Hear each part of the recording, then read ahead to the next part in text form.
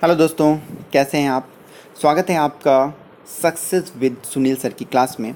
और आज मैं आपके सामने U P P S C L T grade teachers के आने वाले तीस प्रश्न, यानी कि जो समान अध्ययन के तीस प्रश्न हैं, उसके ऊपर चर्चा करने वाला हूँ। और हम कोशिश करेंगे कि समान अध्ययन पर आधारित तीस प्रश्नों में से कम से कम अट्ठाईस से उनतीस प्रश्न हमारे सही हो जाए, और इसके लिए आपको मेरा चैनल सब्सक्राइब करना पड़ेगा। आप इस चैनल को सब्सक्राइब करिए, मैं अपनी सबसे पूरी कोशिश करूँगा कि आपके मैक्सिमम क्वेश्चंस सही हो जाएँ। तो दोस्तों, चाहे आप आर्ट साइड के स्टूडेंट हों, चाहे आप साइंस साइड के स्टूडेंट हों, ये तीस प्रश्न तो आपके लिए इंपॉर्टेंट हैं ही। देखिए 120 प्रश्न जो हैं, वो आपके अपने सब्जेक्ट के हैं, जो कि बहुत ज़्यादा महत्वपूर्ण है, क्योंकि वो 120 प्रश्न हैं और ये 30 प्रश्न हैं। लेकिन इस बात को तो ध्यान रखिएगा कि ये जो 30 प्रश्न हैं, यही आपकी स्कोरिंग सब्जेक्ट के हैं।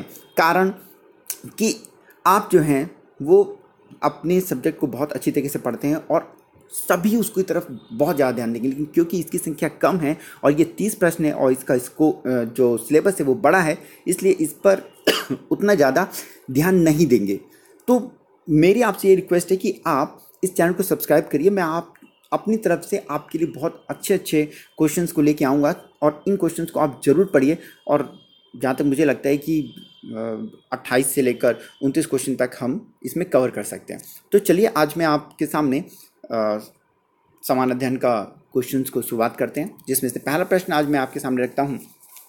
देखिए, विश्व व्यापार संगठन का मुख्यालय कहाँ है? तो इसका मुख्यालय है जिनेवा में 1948 में इस संगठन को बनाया गया था। दूसरा प्रश्न है आपका, विश्व बैंक की स्थापना हुई? तो इसका उत्तर है आपका सी नंबर 1944 देखिए, विश्व बैंक और अंतर्राष्ट्रीय मुद्रा कोष।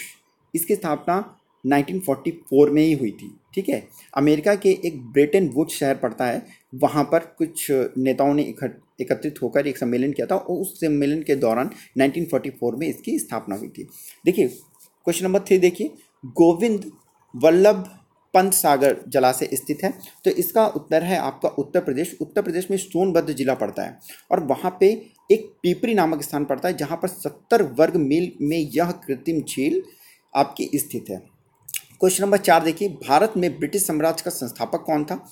इसका आपका आंसर है सी, लॉर्ड रॉबर्ट क्लाइव। देखिए 1957 में जो प्लासी का जो युद्ध हुआ था, उसमें बंगाल के नवाब सिराजुद्दौला को पराजित किया था किसने? इन्होंने, रॉबर्ट, लॉर्ड रॉबर्ट क्लाइव ने, ठीक है? और उनको पराजित करने के साथ ही साथ भारत में ब्रिटिश साम्राज्य की इन्होंने नींव रखी थी। चलिए नेक्स्ट क्वेश्चन आते हैं। क्वेश्चन नंबर आपका फाइव है और इसमें दे रखा हुआ है 1857 के विद्रोह के समय भारत का गवर्नर जनरल कौन था? तो इसका आंसर है आपका सी डी सॉरी डी है आपका लॉर्ड कैनिंग ठीक? क्वेश्चन नंबर सेवन, सिक्स में आइए। लोकसभा के प्रथम अध्यक्ष कौन थे? तो इसका आंसर है आपका A, Mavalankar. Question number seven, Bharat के सर्वोच्च न्यायालय के कार्यवाहक मुख्य न्यायाधीश को नियुक्त करता है। आंसर है इसका बी, राष्ट्रपति। क्वेश्चन नंबर एट, भारत के किस राज्य का समुद्र तट सबसे अधिक लंबा है? तो बिल्कुल आप सही पहचान रहे हैं। इसका आंसर है आपका A Gujarat. Question number nine देखते हैं। राज्यसभा का अध्यक्ष कौन होता है? तो इसका आंसर है आपका बी उपराष्ट्रपति पदेन अध्यक्ष होता है। क्वेश्चन नंबर टेन इनकलाब जिंदाबाद का नारा किसने दिया था? तो इसका आंसर है आपका C Bhagat Singh. Question number eleven देखिए। भोपाल गैस त्रसदी की घटना हुई थी। तो ये घटना कब हुई थी आपकी? इसका आंसर है आपका बी तीन दिसंबर 1984 को। ठीक है? क्वेश्चन नंबर ट्वेल्व देखिए।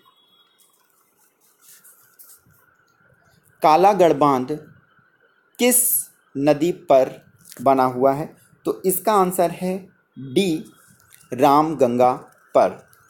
तेरा क्वेश्चन उत्तर प्रदेश का सबसे पुराना विश्वविद्यालय कौन सा है?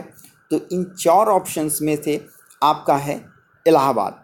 इलाहाबाद आपका सबसे पुराना विश्वविद्यालय है, ठीक?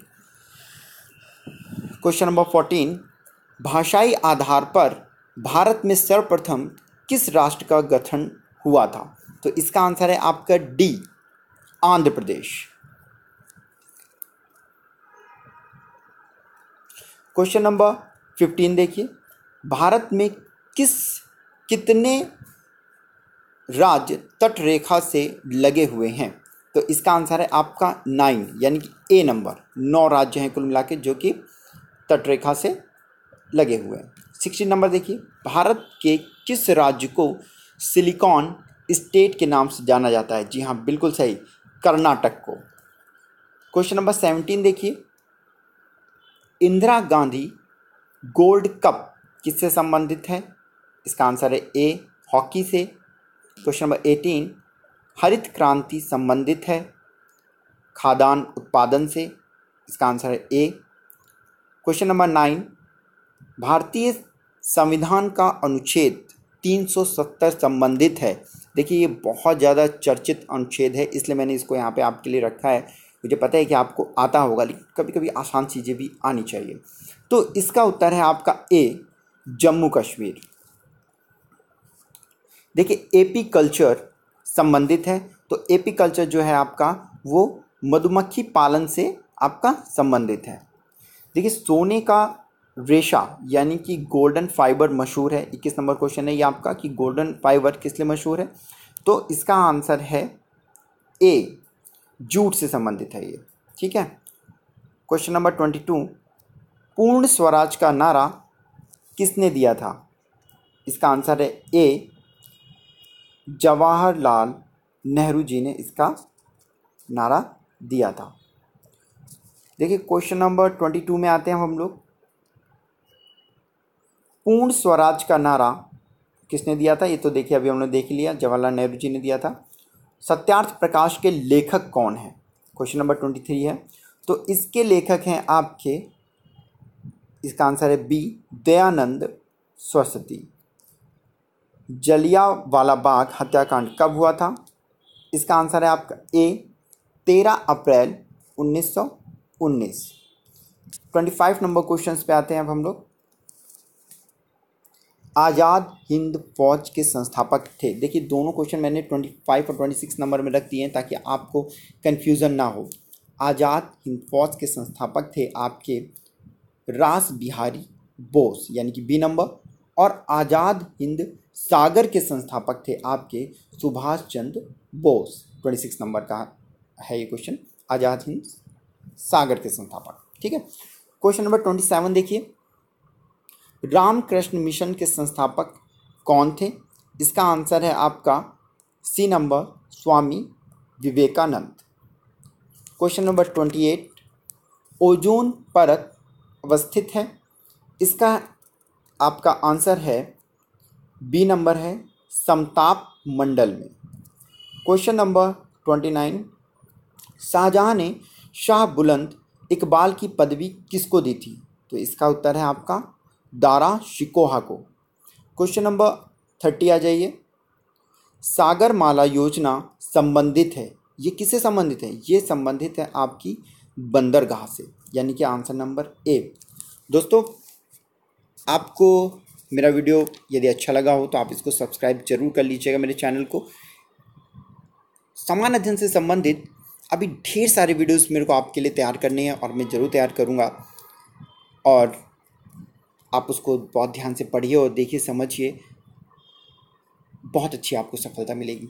चलिए best of luck next video में हम फिर से आपसे मुलाकात करते हैं। चलिए ओके मेरा वीडियो देखने के लिए धन्यवाद।